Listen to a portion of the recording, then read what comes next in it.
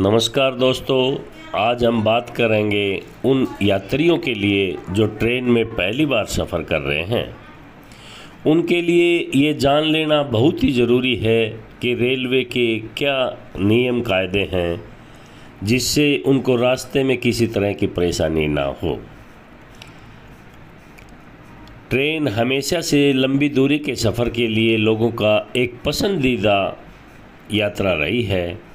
यह सुरक्षा के साथ साथ आरामदायक भी है। कई लोगों के ट्रेन का सफ़र बहुत ही मनोरंजन होता है, लेकिन ट्रेन से सफ़र करने के दौरान हमें रेलवे के नियमों का पता होना बहुत ही ज़रूरी है।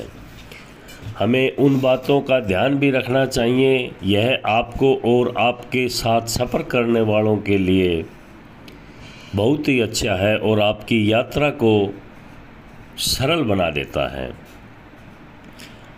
आपको बता दें कि इंडियन रेलवे ने पैसेंजर की सुविधा के लिए काफ़ी कायने, कानून कायदे बनाए हैं, जिनमें ट्रेन से रात में सफ़र करने के, से लेकर और भी कई सारे नियम हैं।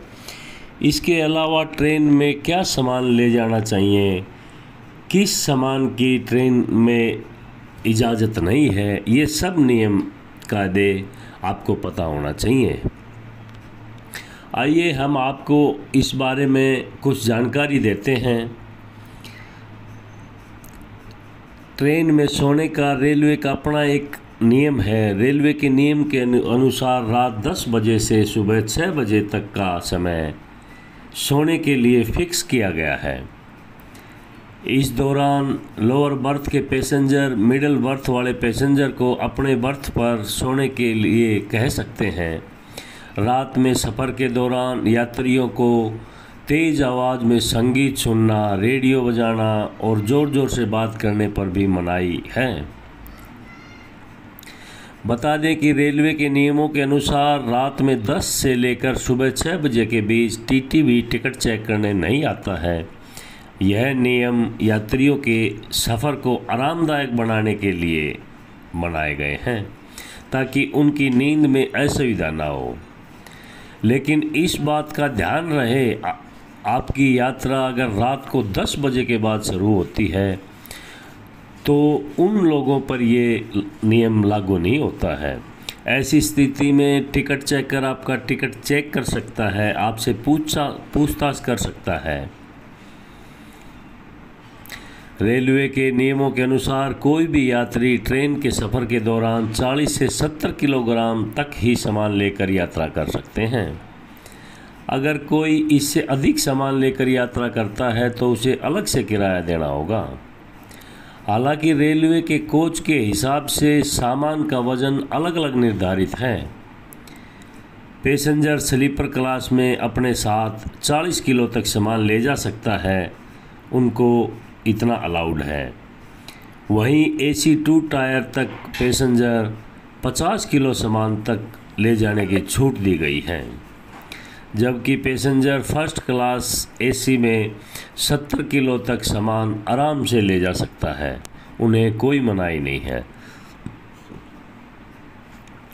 बता दें कि रेल यात्रा के दौरान स्टोव गैस सिलेंडर, किसी तरह का ज्वलनशील केमिकल, पटाखे, तेज़ बदबूदार वस्तुएँ, चमड़ा या गीली खाल पैकेजों में लाए जाने वाले तेल, ग्रीस, घी, ऐसी वस्तुएँ जिनके टूटने या टपकने से वस्तुओं या यात्रियों को हानि पहुँच सकती है।